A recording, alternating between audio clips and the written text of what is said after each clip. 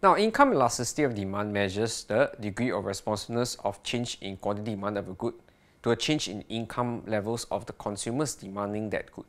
So, when we look at YED, the formula is given by percentage change in quantity demand of a good over percentage change in income levels. And how do we understand the values of YED or the signs of YED?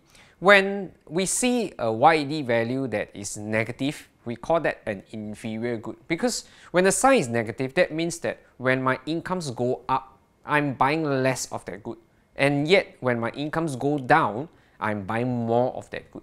So what we will find is that when we talk about such goods, these are what we call inferior goods, where you have a YD negative sign. And for normal goods, we have a positive sign. What are normal goods? You buy more of these things when your incomes goes up. You buy less of these things when your income goes down. That is highly logical, right? But normal goods, you can actually do a subdivision of the goods into two categories. Like for example, if you have a normal good, although all normal goods have a positive sign, if your value is between 0 to 1, we actually consider that to be a necessity. A necessity is, is between the value of 0 to 1, meaning to say that when incomes actually go up, you find that demand for these goods go up, but less than proportionately.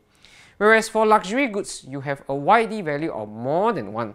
Why is it more than 1? It's because when your incomes go up, you find that your demand for these goods go up more than proportionately.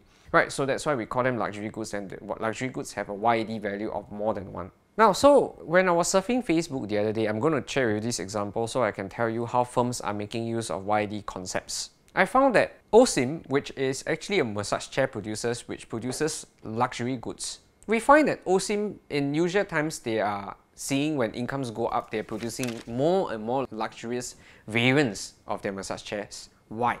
Because when incomes go up, demand for luxury goods will go up more than proportionally. So they will make more profits by creating more luxury variants of massage chairs. Like for example, the King of Kings that is a loose translation of some of the latest massage chairs that series that they have come up with. Yet, in recent days, I find that they have been focused on more of the smaller items like neck massages, like foot massages, and um, even eye massages, which are really much more affordable and they're priced at hundreds of dollars instead of thousands of dollars.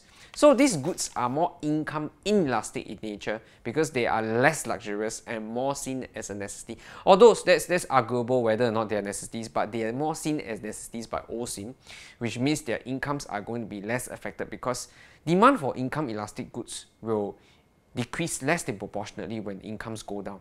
And that is what's happening in recent times in the year 2020. And when we look at mobile phone manufacturers, you'll find that mobile phone manufacturers, they produce a series of phones. Samsung can take this approach. When incomes are going up, they can sell more of their high series mobile phones, which are considered more of luxury goods. And yet, actually, Samsung actually has lower tier mobile phones that cost um, less than $100. And these mobile phones, you can market them as inferior goods where demand actually increases when income levels are going down.